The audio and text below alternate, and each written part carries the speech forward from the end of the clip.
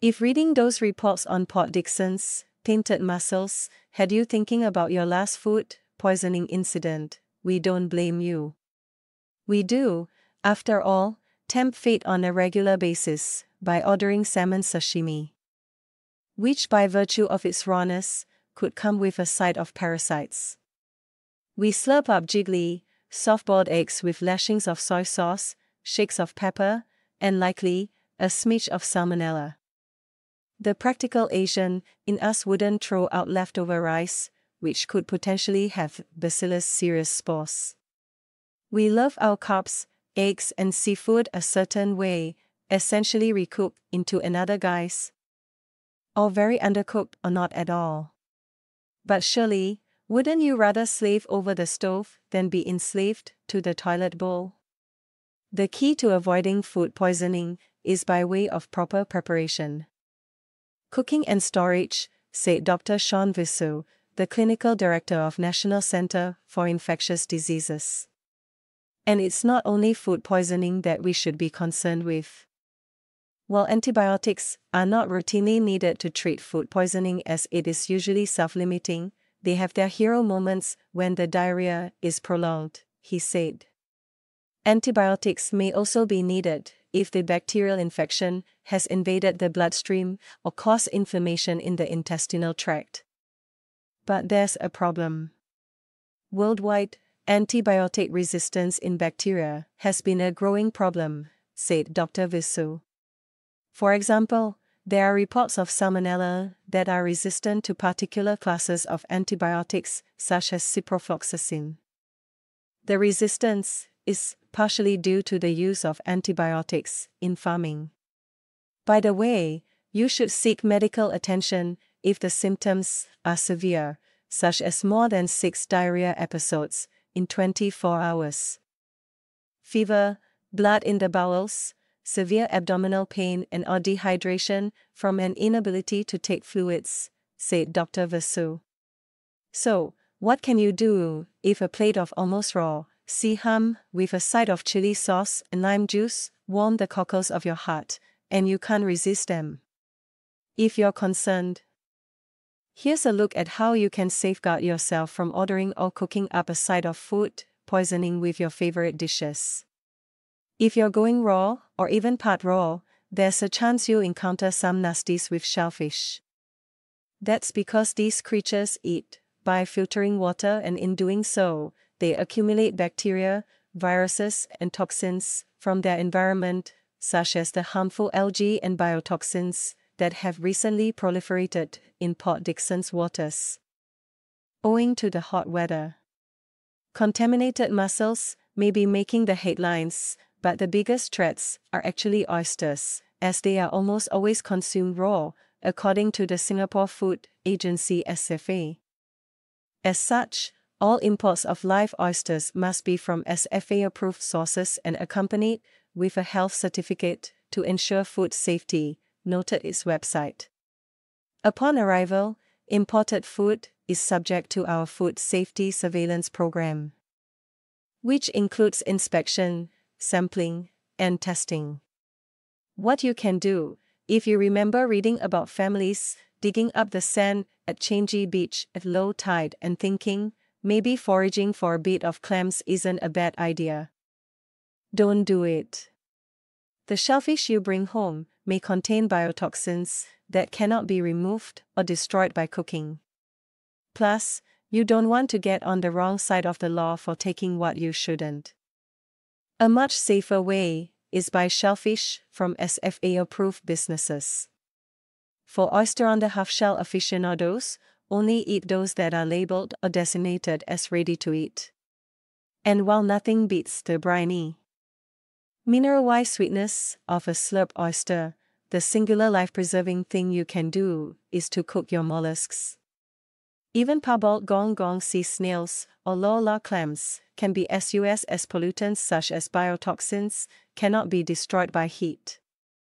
The SFA also suggests coming around to the idea of golden, better fried oysters fried at 190 degrees Celsius for at least 3 minutes, or garlic bake once, bake at 232 degrees Celsius for at least 10 minutes.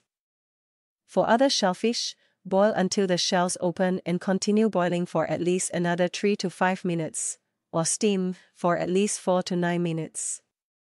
Remember the wriggly additions found in a couple sashimi bowls about a year ago? When it comes to seafood, especially raw ones, there is always a risk of anisakiosis or herringworm disease caused by eating infected fish or squid.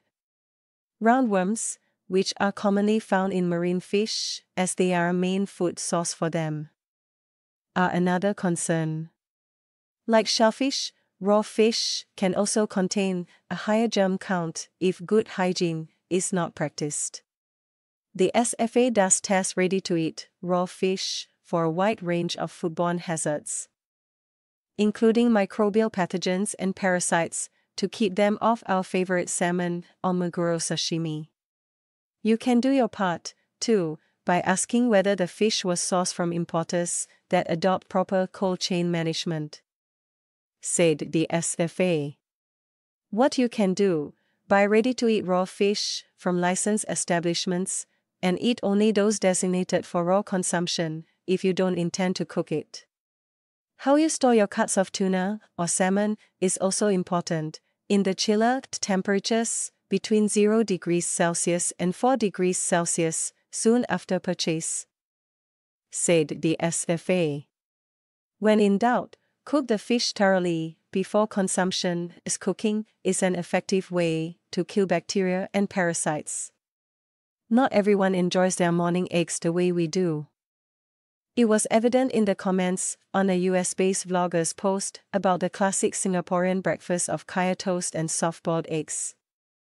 Explosive diarrhea, disgusting, and snotty were some of the words used by international netizens to describe the eggs. They do have a point in that salmonella is a very real problem in eggs and is a leading cause of foodborne illnesses worldwide, according to the SFA. This is why eggs in other countries are cooked thoroughly before eating. In order for you to enjoy onsen and poached eggs with ease of mind, the SFA ensures that imported eggs come from approved sources in accredited countries and regions that meet Singapore's food safety and animal health standards. Local egg farms must also demonstrate good farm management practices and strong biosecurity measures to prevent salmonella contamination, said the SFA, which means removing salt and all cracked eggs, and regularly testing their hands for salmonella. If salmonella is detected through our tests, the farm will be suspended until the contamination issue is rectified. What you can do, those stringent requirements make it relatively safe to eat raw or lightly cooked eggs in Singapore. Said the SFA. But there is always a risk with raw food, so if you are pregnant, immunocompromised, very young, or elderly, it is best to avoid them. If you must include raw or lightly cooked eggs in food such as tiramisu, mayonnaise and hollandaise sauce, use pasteurized eggs that have been heat treated to eliminate bacteria. Otherwise, prepare or order eggs that are cooked until the whites and yolks are firm. Runny egg whites or yolks may still contain bacteria, said the SFA. To safeguard yourself further, Finish up your eggs as soon as they are cooked. If there are leftovers, refrigerate the eggs or any dish containing eggs promptly below 4 degrees Celsius to avoid bacterial growth. Every Asian cook knows that the de facto ingredient for good fried rice is overnight rice, and therein lies the problem. That's because cooked rice is a hotbed for Bacillus cereus, a bacterium that can cause food poisoning. And it's not just cooked rice, this nasty is also commonly linked to other starchy food, such as noodles and pasta, and vegetables, via soil as well. According to the SFA. What's worrying is that Bacillus cereus can proliferate at room temperature, said Dr. Vasoo. When plain rice is left on the countertop for the whole afternoon before you pop it into the fridge, the harm could already be done. Then, If you allow the cold rice to warm up to room temperature before frying it, you're encouraging Bacillus cereus to proliferate again, he cautioned. And get this the bacteria produces spores that are resistant to heat, so even reheated fried rice could make you sick. What you can do keep leftover rice out of the temperature danger zone by refrigerating it at 4 degrees Celsius or lower, or hot at 60 degrees Celsius or higher. By practicing good temperature control, we can limit the growth of the bacteria and its spores, said the SFA. It also pays to make sure the rice you're refrigerating isn't contaminated with someone's saliva or mixed with other sources of food to avoid cross contamination. When prepping vegetables, wash them thoroughly, especially at the roots, to remove soil that may contain Bacillus cereus. As for cooking or reheating fried rice, ensure you fry it thoroughly with a temperature of at least 75 degrees Celsius to at least take out the bacteria.